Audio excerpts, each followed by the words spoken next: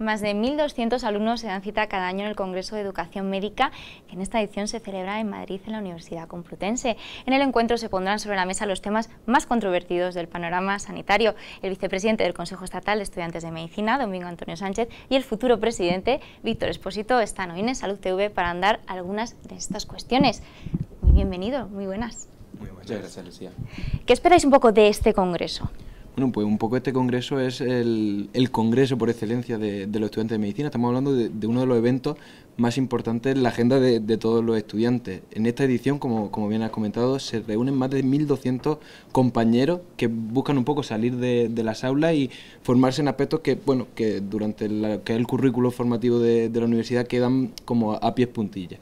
Sin embargo, pues bueno, también la participación de 400 ponentes de la actualidad sanitaria y un poco de la vivencia de lo que es la profesión van a crear un, caldo de cultivo que, creemos que es muy provechoso y que se debe potenciar, como estamos haciendo con cada edición, haciéndola cada vez un poco más grande. Un programa diseñado ¿no? para que cumpla un poco todas las expectativas de, todos los estudiantes que se desplazan al Congreso. Sí, sin duda. Nosotros se ha trabajado además durante muchos meses para tener un programa que permite a cada estudiante elegir su propia ruta en el Congreso, un Congreso moderno, con dinámico también, con mesas de debate, con actualidad política, con actualidad sanitaria y que también tenemos mucho, mucho acercamiento a las sociedades científicas para estar al día de la última actualidad también en cuanto a investigación médica.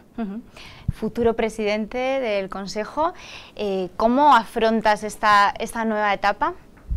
Pues con muchas ganas, con mucha, con mucha ilusión. Yo creo que en el Consejo dedicamos mucha, mucha pasión a lo que hacemos, nos entregamos muchísimo y eso hace que, que lleguemos con mucha energía y con muchas ganas de seguir revolucionando, creando nuevos eventos, aportando a los estudiantes. Ya vemos que no, no paramos, estamos todos los meses organizando eventos diferentes, para los estudiantes para cumplir sus diferentes expectativas, sus diferentes necesidades y luego continuar también con la parte reivindicativa, exigiendo a, a las organizaciones que se escucha el estudiantado, que tenemos muchas cosas que decir y, yo muy contento de poder estar ahí, de poder aportar y, y ayudar en lo que podamos entre todos los compañeros para que salgan adelante salir adelante porque además estamos en un, eh, en un, momento también difícil, el paro médico sigue aumentando.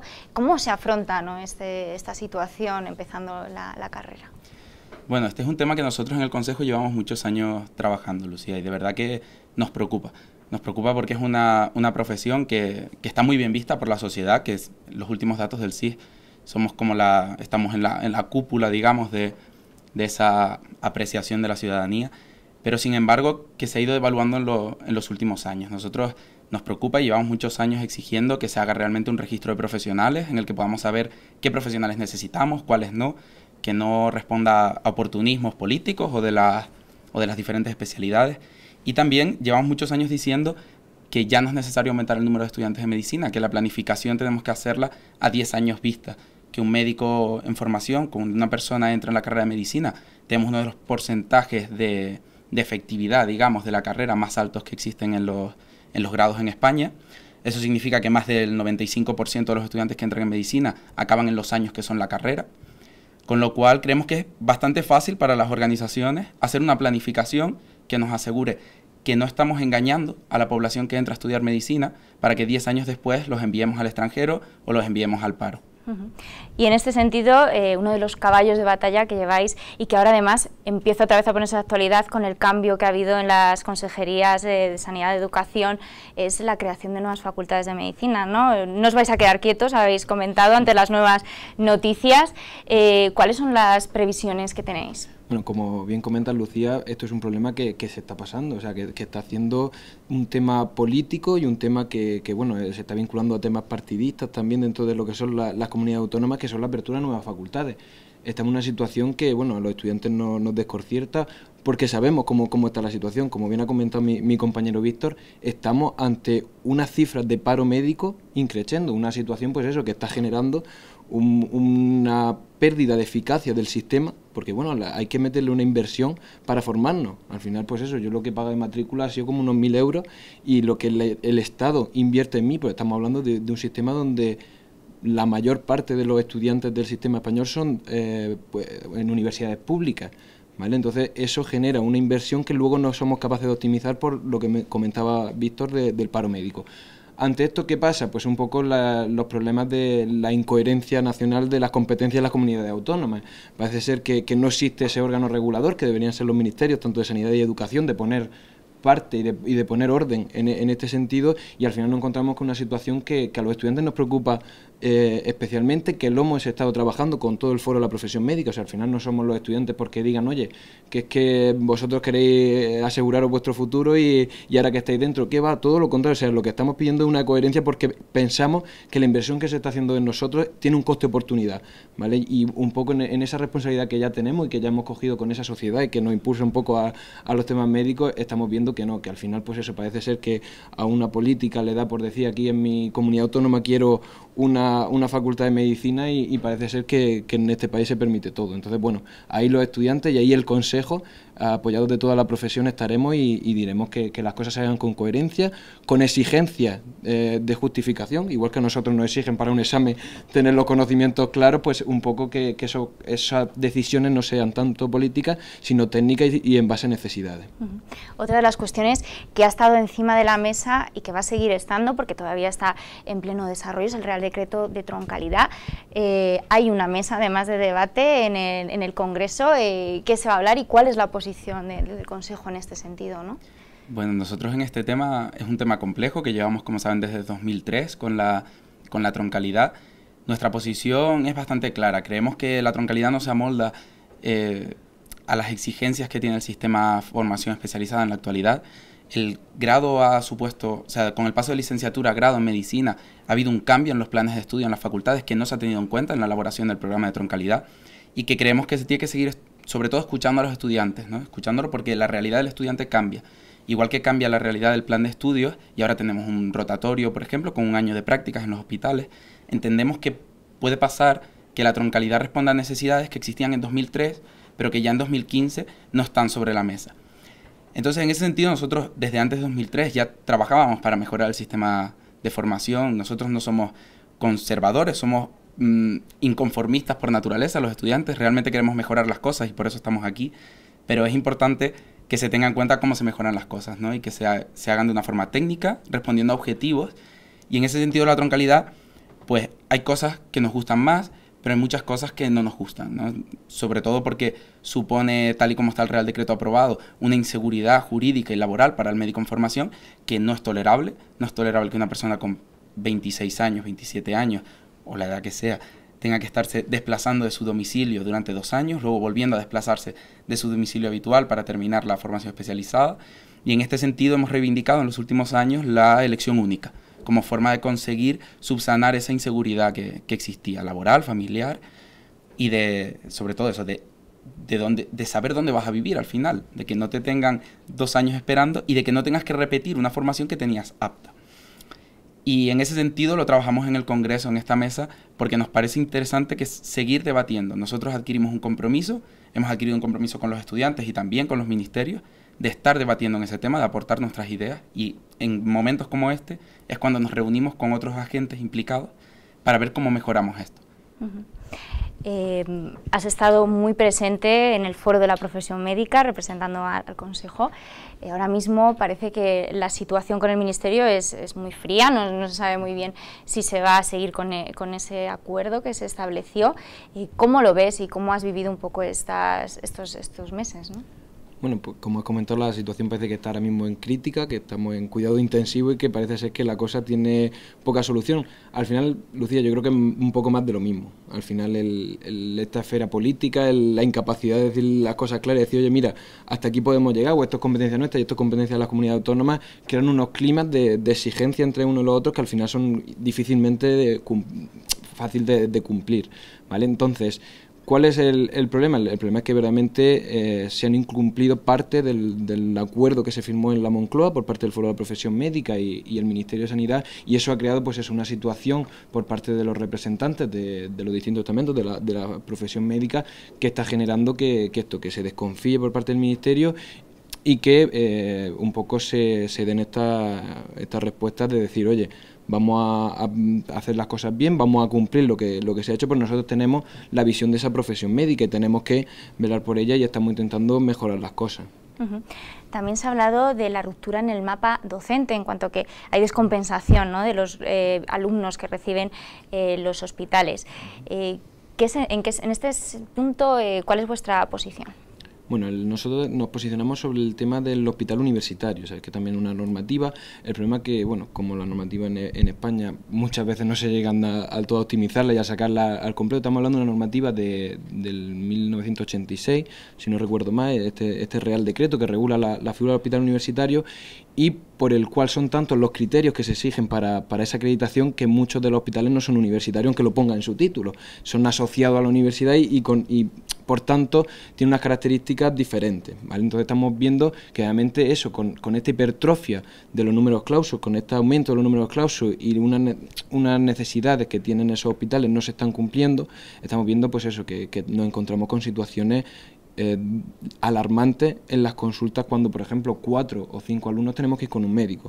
Estamos denunciando que eso no es una, una buena forma de, darnos una formación, de entender, porque al final eso, yo cuando estoy en la consulta y tengo al, al paciente y soy el quinto en ocultarlo, me siento hasta, hasta mal por, por ese contacto que, que, para nada considero que sea el óptimo. Entonces, estamos eh, demandando como consejo que, que, se mejore este Real Decreto, que se mejore la figura del hospital universitario, porque también entramos en conflictos, como ahora habrán visto, por ejemplo, el, el tema de, del, del, compartir un hospital para diferentes facultades, un tema que, por ejemplo, se está viviendo ahora en Murcia y donde el Consejo está apoyando para decir, oye, señores, no hagan también de esto un tema político, haga un tema que ya hay una legislación nacional que salió en el BOE hace unos meses, donde se decía únicamente un hospital para una universidad y una facultad de medicina, y no vamos a entrar en competencia y en, y en aumentar esos requerimientos de, pues eso, de meter muchos estudiantes en un hospital para darle una docencia que creemos de, que no es la adecuada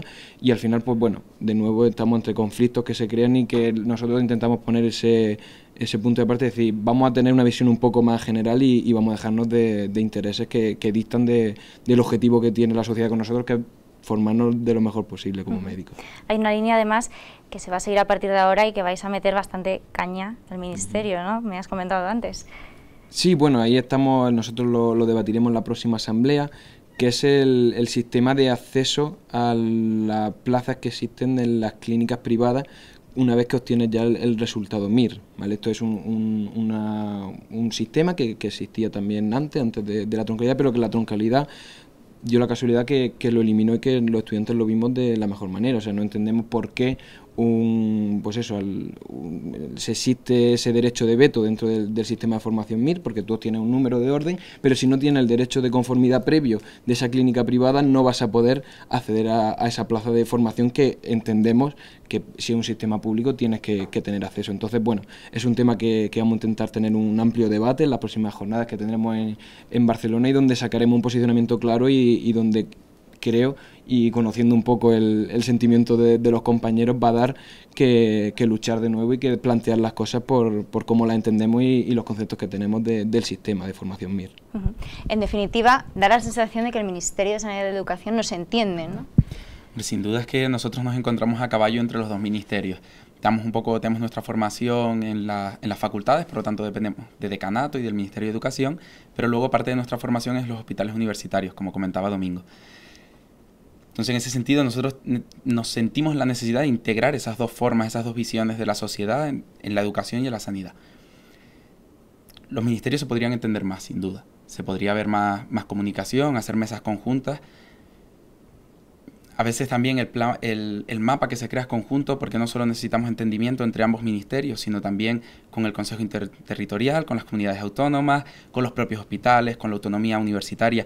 Es un mapa muy complejo de actores en los que nosotros lo que pretendemos es que se tenga, se tenga en cuenta el fin último de todo esto, que son los pacientes, que los pacientes estén lo mejor atendidos posible, que nosotros cumplamos las expectativas que tiene la sociedad de los médicos a día de hoy, que podamos tener siguiendo una formación que yo creo que tenemos que reivindicar, que es una formación de calidad en España, la medicina, pero que es muy mejorable. Es muy mejorable con nuevas metodologías docentes, que es otro de los temas que tratamos también en el Congreso, como el aprendizaje basado en problemas, y, y que podemos sin duda seguir progresando para mejorar esto. No podemos hacerlo si tenemos la traba de que dos ministerios que comparten partido, que comparten gobierno, que están dentro del paraguas de, en la misma legislatura, no se entienden para llegar a acuerdos comunes que permitan la comunicación luego en el, en el terreno, por decirlo de alguna forma, ¿no? entre el hospital y el eso. Y también mención especial a las comunidades que deberían estar facilitando esos acuerdos tan necesarios entre el hospital y la facultad, entre el hospital y las universidades realmente, que son quienes firman los sistemas de salud, y que, y que se están muchas veces poniendo trabas al acceso que tiene que tener el estudiante, que es necesario e imprescindible como parte de ese equipo asistencial. Tenemos estudiantes que están haciendo investigación de primer nivel en las facultades y tenemos estudiantes que están haciendo labor dentro de los hospitales que tenemos que incrementar esa labor para que sea un miembro más dentro del equipo asistencial. Has comentado que al final el fin último son los pacientes. Habéis iniciado además una línea de colaboración eh, con, la Asociación Española contra el Cáncer, con la Federación Española de Enfermedades Raras, que van a estar también presentes en el Congreso. Me imagino que una línea que continuará ¿no? en, en tu mandato. Sin duda, nosotros intentaremos hacer sobre todo que esto sea constante en el tiempo, firmar convenios que nos permitan mantener estas relaciones, porque es la mejor forma para nosotros saber cuáles son las necesidades que tiene la sociedad en nosotros y seguir nosotros reivindicando para tener la mejor formación para poder luego ofrecerlo a los pacientes. Nosotros en este sentido lo tenemos muy claro y como comentaba mi compañero Domingo, hay que huir de intereses partidistas, hay que huir de intereses políticos, de todas estas infraestructuras que al final nos acaban agotando un poco en el camino que hacemos y nosotros no queremos perder de vista que nuestro fin son los pacientes. Y eso es lo que nos da energía. Me preguntabas al principio que, cómo cogía el cargo. Lo cojo con mucha fuerza gracias a eso, a que tenemos en el Consejo unos objetivos muy claros. Trabajamos muy unidos para ese fin, que aunque lo veamos en el horizonte, nos impulsa a luchar contra ministerios, a seguir yendo al foro de la profesión médica, a seguir buscando coaligarnos con, con el foro de la profesión y defendiendo las posturas que vemos coherentes y lógicas. Bueno, y ya para, para, finalizar un poco ese mensaje como vicepresidente saliente, ¿no? Como han sido estos años eh, al frente del Consejo y luchando un poco por, por, los estudiantes.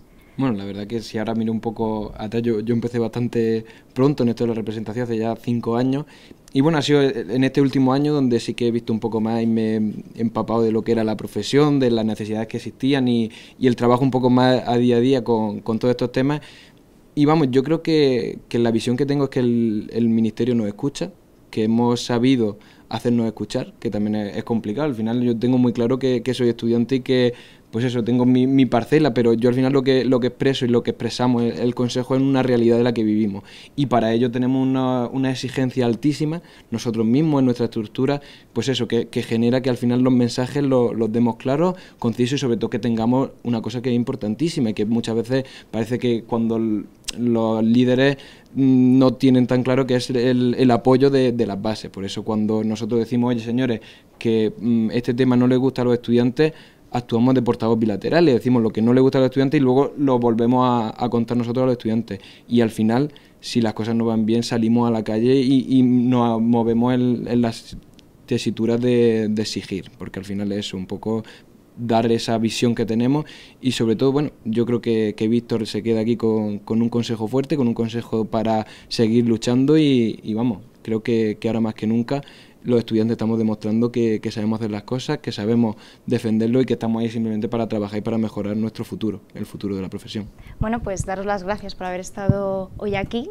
Seguiremos muy de cerca ese congreso, eh, así que bueno, pues eh, os esperamos en próximas ocasiones. Muchas gracias. Muchas gracias.